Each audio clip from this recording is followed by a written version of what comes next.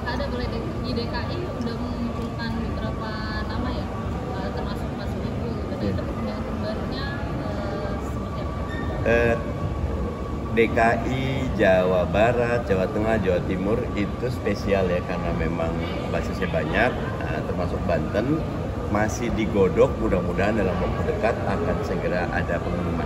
Ya, kalau di pilkada Jatim kan udah muncul Kofifa de- dengan duetnya eh, Mas Emil. Nah kalau dari PKS eh, ada digodok-godok nggak sih untuk masuk ke koalisi Bu Kofifa dan eh, Mas Emil ini? Satu. Yang paling baik tentu tidak tunggal ya, harus ada eh, kompetitornya.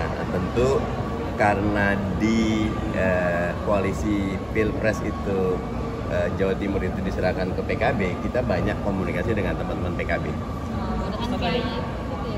Eh, namanya belum mengerucut, tetapi pembicaraan dengan PKB-nya sudah ada. Berarti ke poros PKB nih maksudnya ya? Eh, nanti nan- nanti ya? akan ada pengumuman lah. Ustaz, ada info kalau PKS ini eh, salah satu bursa yang masuk di Pilkada DKI adalah Pak Sudirman Said?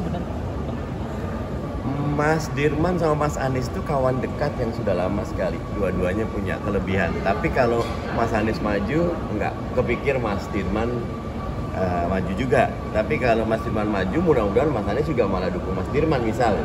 Jadi kami eh, karena PKS dapat 18 kursi, kita kurang tiga kursi, ya kita komunikasi dengan parpol dulu.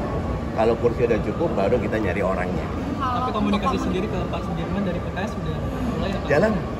Kalau nama Sanis Mas Dirman karena kawan lama, kawan setia, jalan terus komunikasi.